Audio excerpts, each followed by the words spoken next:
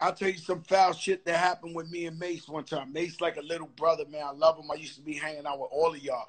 One time I'm in the tunnel and um Big L, rest in peace, my brother. You know, he grew up with Mase and all of them. So he come up to us, he said, Yo, I got smoke with somebody. You know, at that time it's like, yo, I got beef. So we yeah. in like 30 deep. And he walks up to Mase.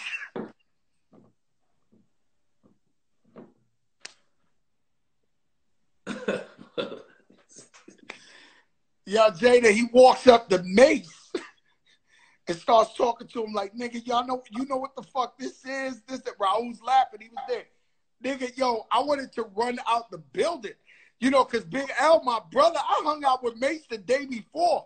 So he starts yeah. talking crazy. I'm standing there like this. Mase is looking at me like, damn, no, no way, Joe Crack. Like, y'all nigga foul like that. But I didn't know the play. You know, oh, yeah. walked away, I grabbed L. I see your L, man. That's amazing. You grew up with the nigga. You know, that was just a little something that happened there, but I don't think Mase ever trusted me after that ever again in his life. He was like, yo, I ain't fucking with Joe Crack. Because Mase like a little brother.